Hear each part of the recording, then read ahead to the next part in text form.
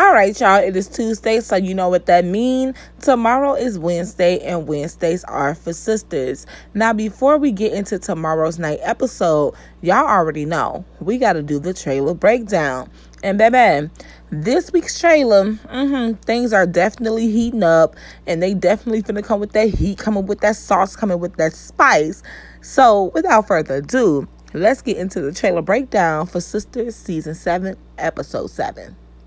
All right, y'all. So, boom. In the first clip of the trailer, we see New Jordan going through it, but we cut to Andi asking Fatima what is happening. And Fatima says, It's Jordan. He's all over the news. Baby, whatever is going on, the scandal has broken. We finally finna see what Gary been wanting to be front page for weeks now. Cause we know he got everything to do with what's going on with the Goins owns. And he got his own stuff going on. You dealing with the FBI. And somehow, some way, you still find your way in somebody else's business. Andi cannot catch a break. She is not gonna catch a break as long as Gary is in her life. Because every relationship she get in, he is going to make it hard. Not her old nigga going through it. Not her old nigga got her new nigga going through it. Child, it is all too much, child. Mm, I can't wait to see what the scandal is, though. I mean, my mouth better hit the floor the way Gary was trying to make it seem. In the next clip of the trailer, it is very short. We see Sabrina saying that's disturbing. I don't know what she talking about or who she talking about, but she ain't got no room to talk. Because baby, it is very disturbing that you trying to force Rich to have a baby that he don't want. That's disturbing, sis. In the next clip, Andi is confronting Jordan about the information and the scandal that is in the news, and she asking him, Is it true? And he is very stern, and he says, Hell no. Mm, I don't believe it, child. It is something about him. It's very slippery, very sneaky, very slimy, very snake like. And I just think that whatever they said he did, he did.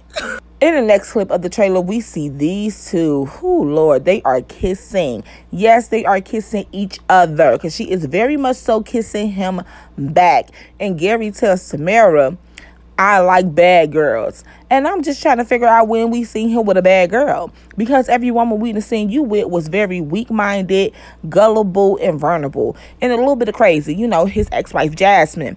But Tamara would be the first bad girl that we actually see him with. And I hope they get together because she is going to match his energy tenfold. And we all know she don't want Hayden. The only reason why she kissing Gary, say what you want, but Gary is very attractive and he got a bankroll. But she better tread lightly because the FBI finna snatch that bankroll. Stay with your husband, sis, because he still got his bank account. Side note, Gary kissing Tamara shows us what we already know. He has no loyalty to nobody but himself. Hayden don't have loyalty to nobody but himself either, but he ain't never crossed no lines trying to get with Andi or nobody that Gary was involved with, okay? Even though they wouldn't go anyway, but still. Baby, listen, I pray, I hope that Hayden finds out about this so he can turn on Gary because you know what he said. If it ain't about his money or his B-I-T-C-H, he don't care. But baby, he kissing your whole wife. Okay? So we know Hayden gonna turn up. And once he do that, Gary is the done for. Okay, back to the trailer.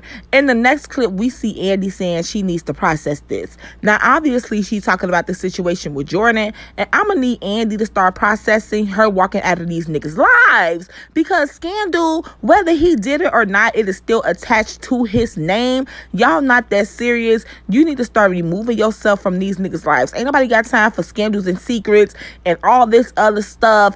This gonna turn into a whole nother Gary situation if you let it, sis.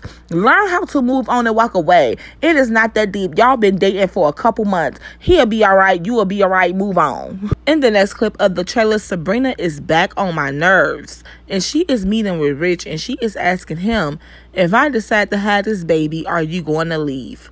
Now, first of all, I'm trying to figure out why she talking to him or asking him this question as if she's already pregnant. Sis, you're not.